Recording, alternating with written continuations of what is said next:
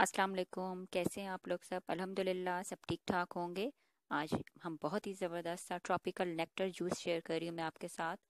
आपने ज़रूर ट्राई करना है, बहुत powerful strong and healthy juice है। और मिक्स फ्रूट जूस तो वैसे भी बहुत अच्छा लगता है। ट्रॉपिकल नेक्टर के लिए हमने लेना है सबसे पहले बिस्मिल्लाह रहीम मैंगोस मैंने लिए हैं टू मैंगोस हमने लेने हैं। इनको मैंने छिलका उतार के प्योरी निकाल लिया इसकी। और वाटरमेलन हम लेंगे, तरबूज लेंगे हम थोड़ा। और हमने इसमें लेमन लेने हैं। टू लेमन्स को हमने स्क्यूज़ करके ऐड करना है इसमें। और फ्रेश फ्रूट्स का तो बहुत ही मज़ेदार जूस बनता है। और साथ ही साथ ये देखिए, मैंने मैंगो जूस लिया है। मैंगो जूस के साथ साथ मैंने रेड ग्रेप्स जूस लिया है। बाहर से मिल जाता है। वन वन ग्लास हमने ले लेना है।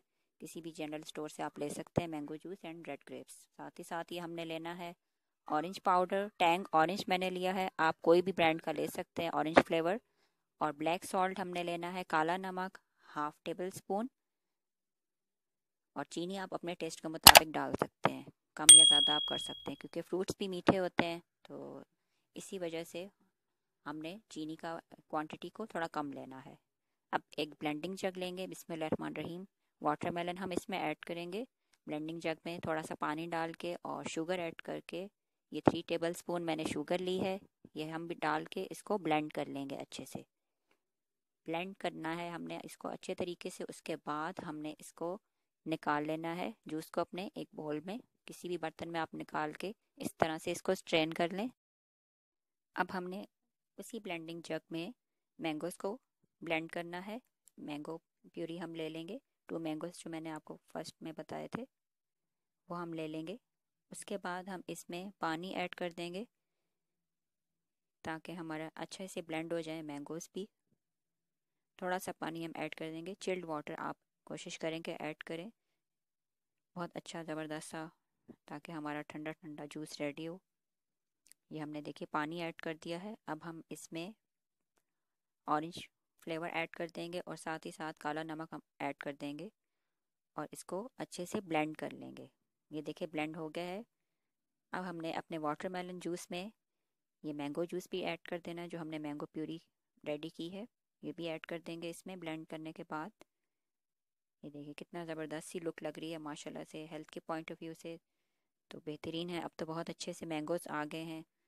आप ज़रूर बच्चों के लिए बना के रखें जूस मिल्क शेक्स डिफरेंट तरह के जूसेस। और अब ये देखिए, अब मैं इसमें रेड ग्रेप्स जूस जो मैंने आपको बताया था, मार्केट से लिया था, ये भी हमने ऐड कर दिया वन ग्लास। और वन ग्लास ही हमने ऑरेंज जूस, वो भी ऐड कर दिया है। कितना ज़बरदस्त सा कलर आ जाएगा, आप देखिएगा और बहुत ज़बरदस्त फ्लेवर होता है इसका। और ये हम लेमन्स लेंगे, टू लेमन्स जो मैंने कट करके रखे थे, इनको स्क्वीज़ कर लेंगे। स्क्वीज़ करने के बाद इसको हम मिक्स करेंगे फिर, ताकि बहुत अच्छा सा फ्लेवर आ जाए। लेमन से बहुत अच्छा फ्लेवर आएगा आपके जूस में। अगर आप ऐड करना चाहें तो कर सकते हैं, और अगर ना भी करना चाहें तो स्किप कर सकते हैं। लेकिन मैं ऐड कर रही हूँ, इससे बहुत अच्छा फ्लेवर आता है। अब हम इन तमाम जूसेस को इस तरह से मिक्स कर लेंगे। देखिए कितना ज़बरदस्त सा हमारा ट्रॉपिकल नेक्टर रेडी हो गया। ये आप देख सकते हैं, बहुत ही मज़ेदार, ज़बरदस्त सा जूस हमारा बना है।